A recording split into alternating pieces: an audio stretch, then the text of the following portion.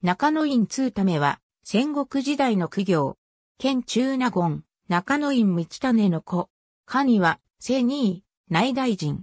父祖と同じく、たびたび、加賀国に下校、在国し、下領の方省などの直務支配に努めた。本名は通りミリ、通り領。大英元年9月に5歳で除爵され、同6年10月時12任官。協禄4年4月14日下に除されて元服し、天文2年11月左県中将を兼ねた際に、通領から通りためへ改名した。同3年2月14日以上、参議に除任されて苦行に列し、同4年2月生4位した、同5年4月13位へと進む。同6年3月幕府が、加賀ぬかた省の大官を主張する、国人朝日氏の訴訟を退け、中院下による忠務を命じたため、6月に同国へ下校。在国中の同9年6月初老のため辞職したが、同10年6月朝廷から在京継続の要請を受け、9月に上洛、三大寺、12月参議に官任する。さらに、同11年ウルー3月生3位、県中納言に除任され、同12年3月時10を兼ねた。同年11月年貢を未信した泉彌次郎なる者に対処すべく、再び加賀へ下校。通りためは、泉の伝示を没収する強行策に出るも、報復されて、横領の暴挙に遭い、同15年5月幕府から、ぬかた省の治療が安堵されている。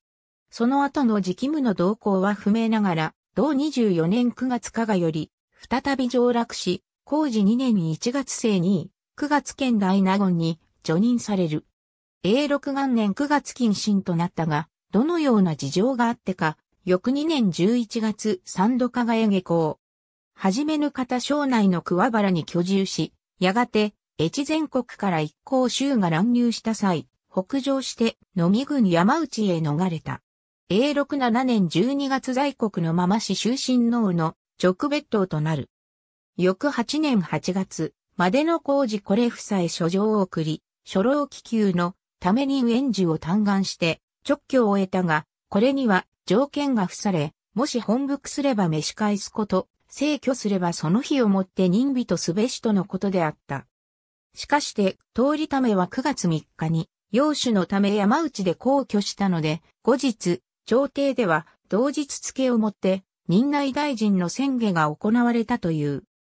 ただし、同時代の広橋金秀の自筆と推定される、違本苦行部人には、この中期が一切なく、通りためは、種物書老で帰居していた折、越前より乱入した一行州に放火されて焼死し、永60年9月内大臣を追贈されたとの遺説が見える。いずれにしても、祖父、道代と父、通り種の官が、県中納言に泊まった通りためにとって、大臣承認が悲願であったことは、疑いない。歌人としては、英百種和歌を残しているが、この中には、いかばかり、との手振り忘れましひなの住まいの年もへぬればなど、在国のわびしさを読んだ歌も見られ、戦国菊毛の心情が伺える。